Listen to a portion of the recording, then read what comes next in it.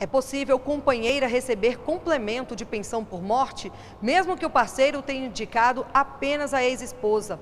A decisão é dos ministros do Superior Tribunal de Justiça. Fundação Petrobras de Seguridade Social entrou com recurso especial no STJ após o Tribunal de Justiça do Rio Grande do Norte ter determinado a divisão do benefício previdenciário entre a companheira e a ex-esposa.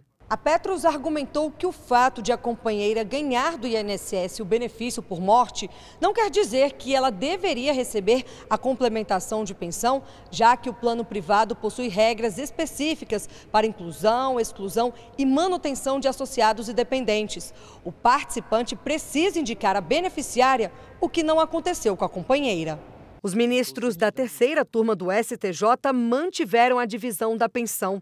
O relator, ministro Vilas Boscueva, entendeu que promover a inclusão da companheira ao lado da ex-esposa no rol de beneficiários da Previdência Privada, mesmo se houver omissão do participante quanto à inscrição no plano, vai aperfeiçoar o regime complementar fechado, como já ocorre na Previdência Social e nas previdências do servidor público e do militar.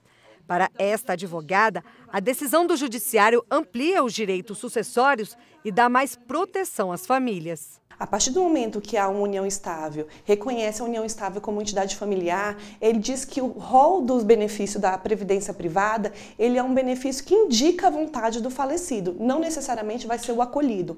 E para isso ele busca é, direitos é, gerais, por exemplo, ele equipara o direito sucessório, o direito securitário, o direito da própria previdência privada. Ele busca é, esses argumentos, essas fundamentações para que reconheça o direito da companheira também a fazer, é, ser beneficiário desse, desse plano privado.